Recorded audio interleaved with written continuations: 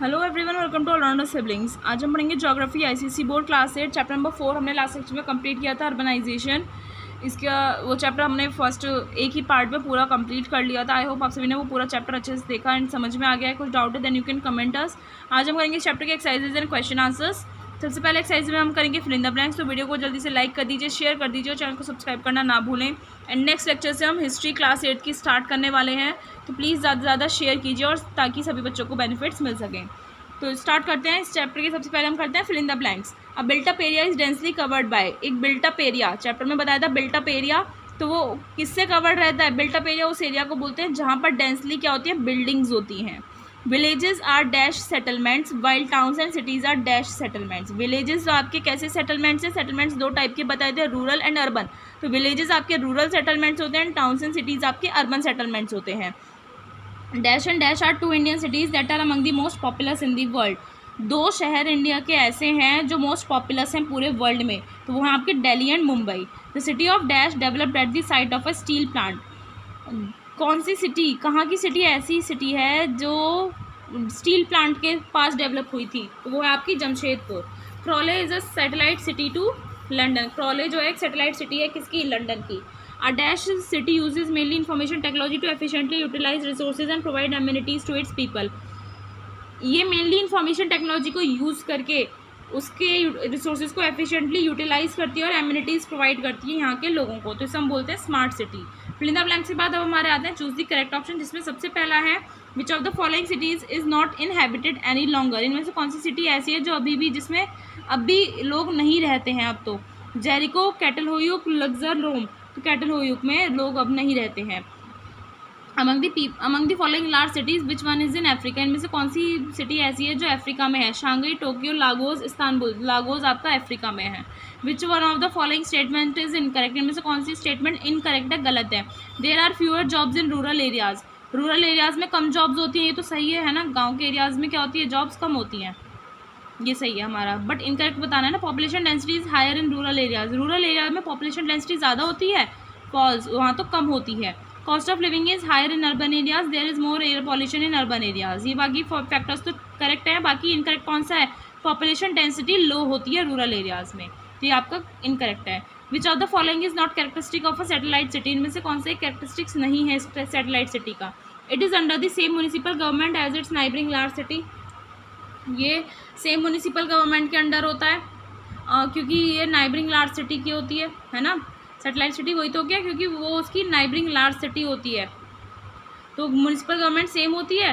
False ये गलत है आपका तो ये आपका कैरेक्टरिस्टिक नहीं है सेटेलाइट सिटी का तो करेक्ट ऑप्शन आपका A it is usually separated from its neighbouring large cities by a rural area तो सेटेलाइट सिटी आपके नाइबरिंग लार्ज सिटी से सेपरेटेड रहती है रूरल एरिया से। ये तो सही है, यही पढ़ा था हमने। It usually has large number of residence and few factories आपकी सेटेलाइट सिटी में लार्ज नंबर ऑफ़ रेजिडेंस यानी कि रहने के लिए ज़्यादा जगह देखी जाती है फैक्ट्रीज कम होती हैं। ये भी सही है, यही तो पढ़ा था हमने फिर कैरेक्टरिस्टिक्स में। Many of its people commute to the neighbouring large city for work और बहुत सारे लोग नाइबरिंग लार्ज सिटी में चले जाते हैं वर्क के लिए।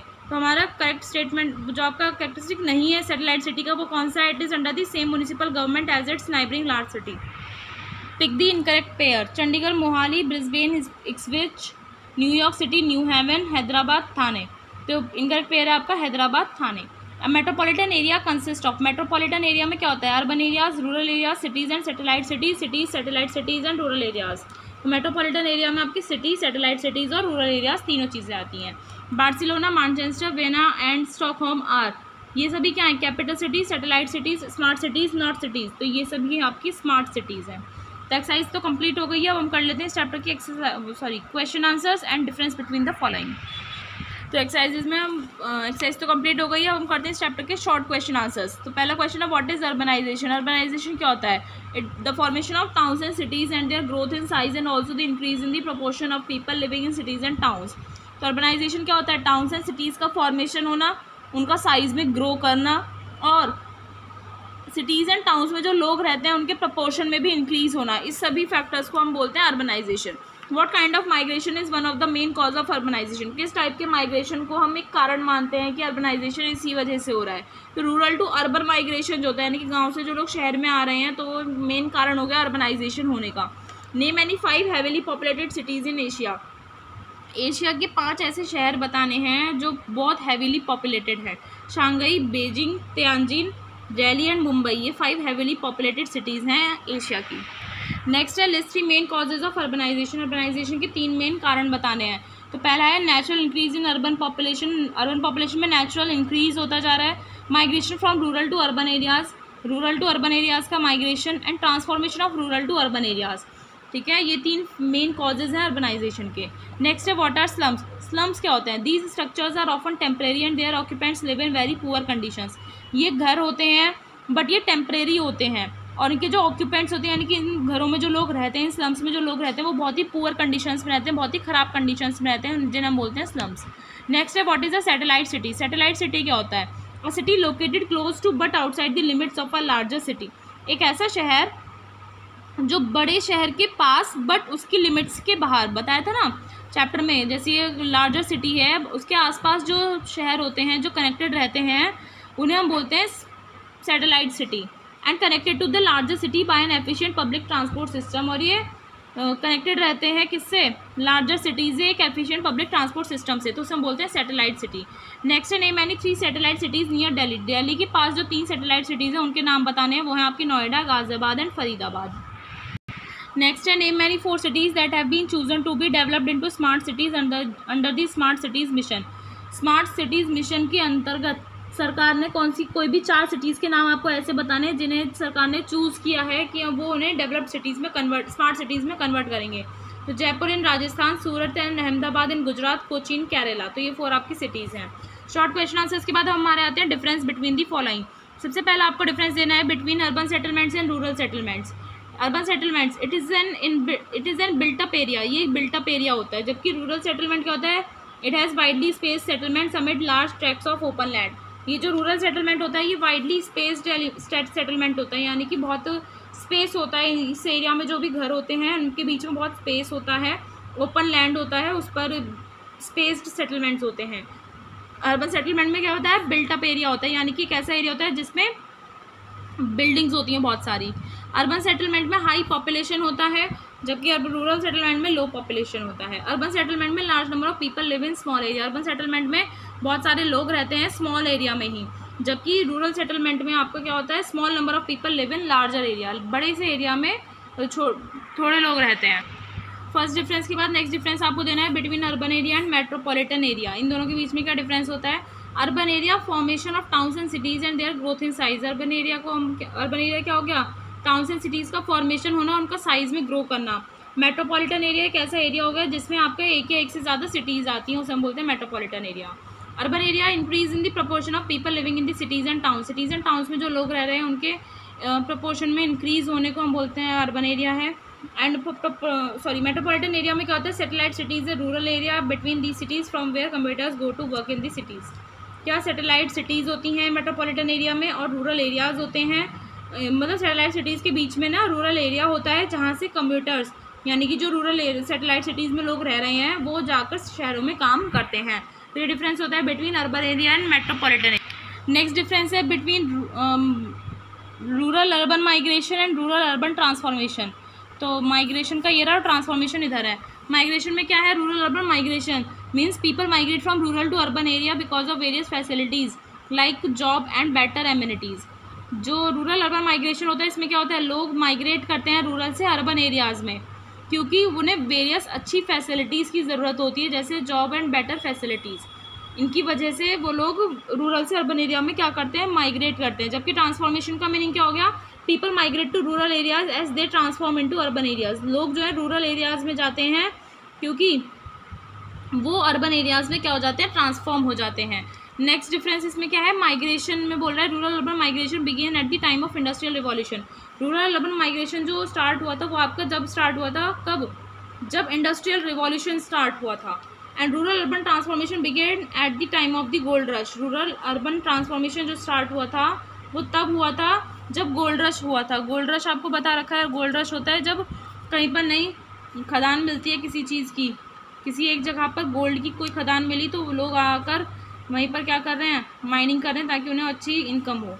ओके अब हम करते हैं लॉन्ग क्वेश्चन आंसर जिसमें सबसे पहला है why is natural increase one of the main cause of population growth in urban areas जो नेचुरल इंक्रीज होता है अर्बन एरियाज़ में जो पॉपुलेशन ग्रोथ हो रही है, उसका एक मेन कारण नेचुरल इंक्रीज क्यों है?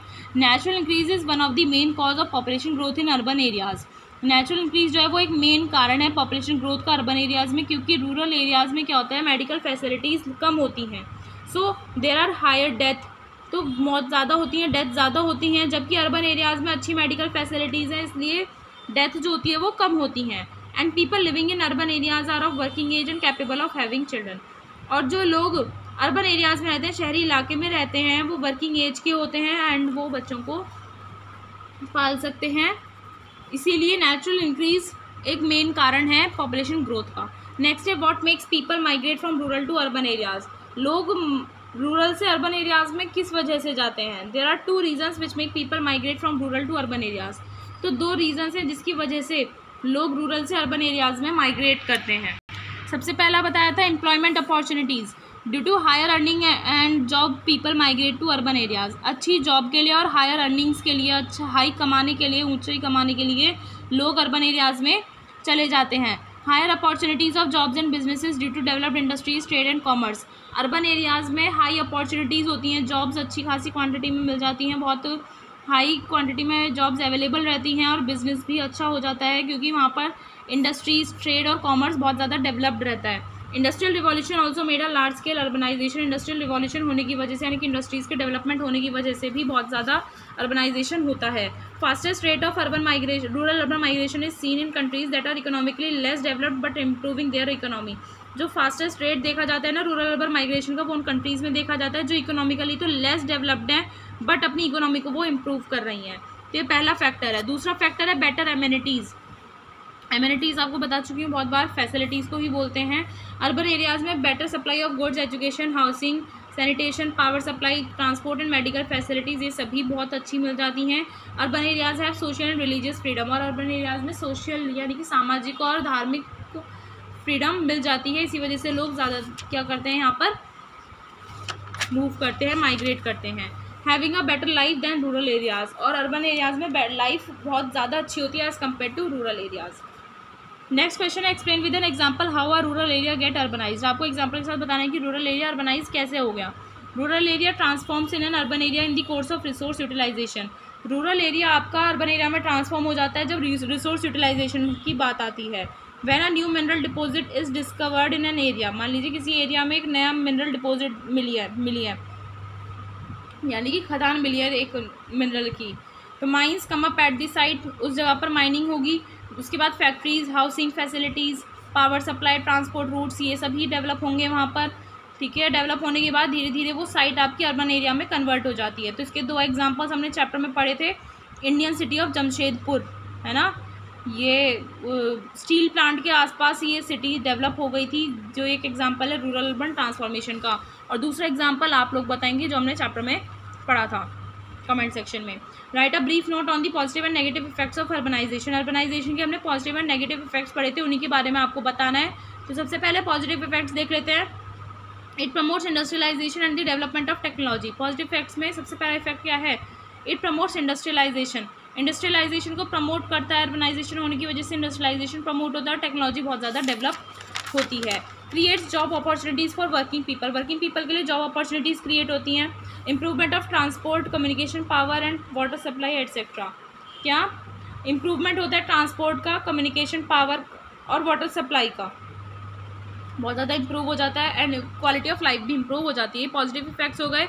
नेगेटिव इफेक्ट्स देखते हैं एज पॉपुलेशन इंक्रीज जैसे जैसे पॉपुलेशन इंक्रीज होगी ना अर्बन एरिया में तो लोगों को स्मॉल एरिया में ही रहना पड़ेगा, क्योंकि लैंड थोड़ी इंक्रीज कर सकते हैं हम। छोटे एरिया में लोग, ज़्यादा लोग रहते हैं।